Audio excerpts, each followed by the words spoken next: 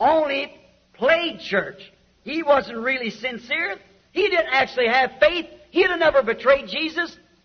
But he see, he sowed that seed of discrepancy. He thought that he could make friends with the world, mammon, and also have friendship with Jesus. But it was too late for him to do anything about it.